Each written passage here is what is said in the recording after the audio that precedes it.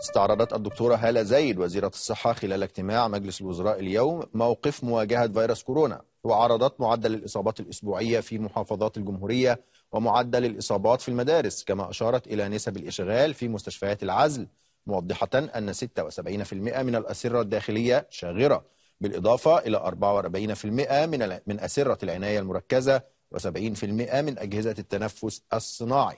من جانبه قال مدير الطوارئ الصحية في المكتب الإقليمي لمنظمة الصحة العالمية الدكتور ريتشارد برينان إن عدد حالات الإصابة اليومية بفيروس كورونا التي تعلنها وزارة الصحة المصرية لا تعبر عن العدد الحقيقي للإصابات موضحا أن الحكومة المصرية قررت تركيز اختباراتها على مجموعة فرعية من المواطنين خاصة المصابين بأمراض معقدة وفي حالة حرجة وبالتالي فمن المرجح أن المصابين بأعراض خفيفة أو متوسطة لا يجرون الاختبارات أو مسحات ال PCR نرحب من موسكو عبر الأقمار الصناعية بالدكتور أحمد سعد الدين استشاري الأمراض الباطنية العامة.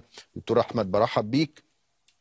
الجدلية الدائمة والسؤال الدائم ويعني من بداية ظهور فيروس كورونا فكرة الأعداد الحقيقية والأعداد غير الحقيقية ومعايير أخذ المسحات ومعايير إجراء الاختبارات. تصريحين التصريح الأول من جانب وزيرة الصحة والتصريح الثاني من جانب منظمة الصحة العالمية.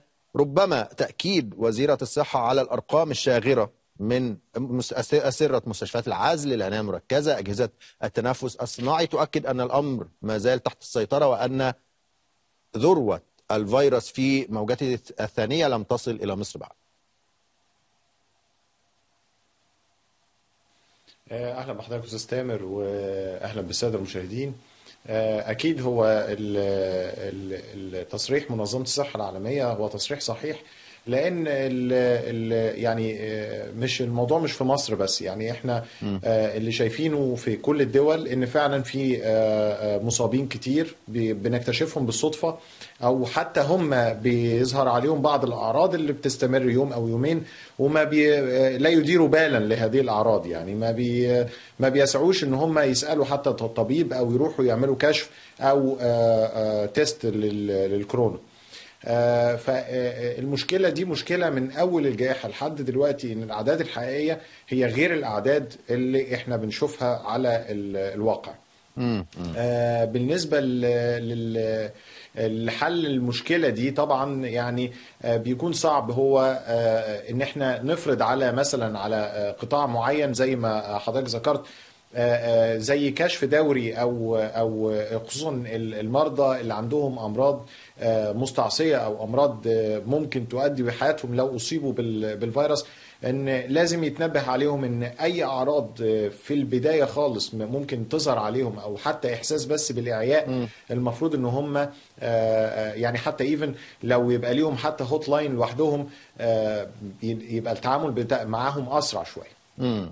طيب يعني في في برضه خلينا نعرج على الحديث عن المستقبل في إطار أو في يعني من وحي حديث منظمه الصحة العالمية المنحنى الوبائي في مصر خصوصا مع قرب ظهور اللقاح والحديث الإيجابي عن تعاقد مصر على لقاحات كثيرة وتوزيعها على المواطنين بشكل عادل هل نقدر نقول إنه مصر تجاوزت بالفعل الأزمة أو إنه ما هو قادم لن يكون بسوء الموجة الأولى ولن يكون بسوء المرحلة الأولى من انتشار الفيروس؟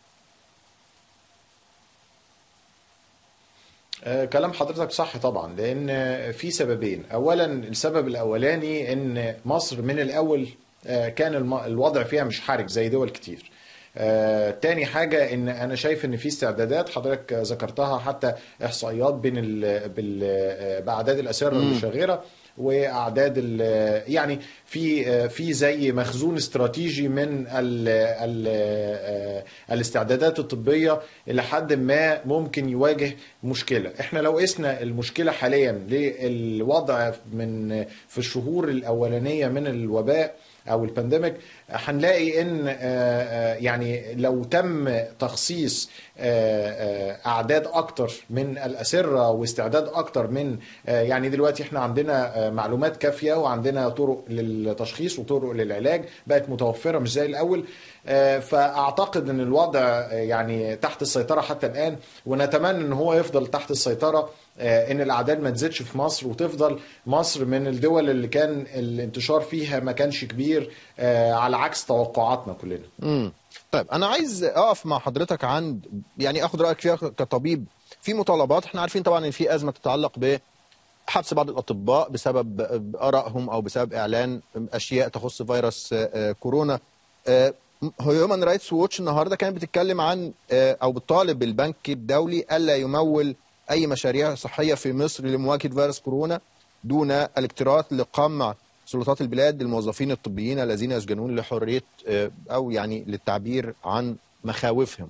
يمكن ال- المطالبة دي أثارت غضب ناس كتير وشافت إنه ما ينفعش ابدا إن إحنا نربط دي بدي لأنه في النهاية جهود مكافحة فيروس كورونا هدفها الحفاظ على أرواح وصحة ملايين آه، المواطنين. فبالتالي لما أطالب البنك الدولي إن هو يتوقف عن هذا الدعم ممكن أعرض صحة ناس كتيرة للخطر حتى مع الاعتراف بعدالة القضية اللي بيتم الدفاع عنها.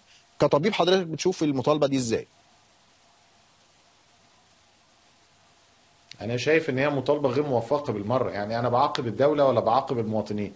يعني أنا مثلا دلوقتي لو طلبت من البنك الدولي إن هو يو- يوقف ال- ال- ال- المخصصات للخدمات الصحية أنا مش بعاقب الدولة أنا بعاقب المواطنين. يعني أنا ده المفروض هيومن رايتس يعني من باب أولى إن هم يمولوا ال ال يعني آه، أو يخافوا على أرواح الناس مش آه، بيقفوا ضد التمويل فبالتالي ناس تموت ويعني دي قضية ودي قضية أخرى يعني. فانا رأيي الشخصي طبعا أنا أهم أهم حاجة عندي كطبيب هي أرواح الناس. ايا كان الشخص ده آه، آه، يعني جنسه وانتمائه ودولته يعني آه، لا طبعا يعني غير موفق بالمرة يعني. أشكرك شكرا جزيلا الدكتور أحمد سعد الدين أمين استشاري الأمراض الباطنية العامة. شكرا جزيلا.